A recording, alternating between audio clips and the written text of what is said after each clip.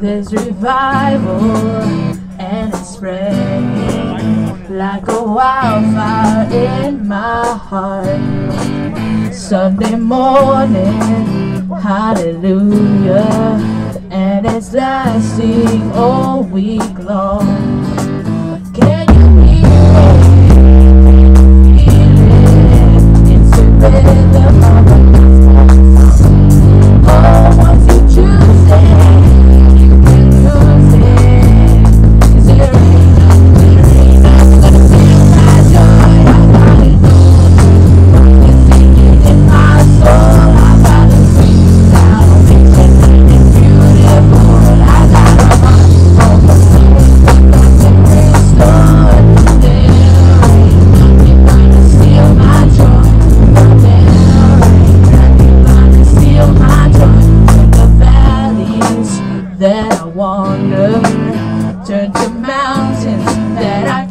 claro.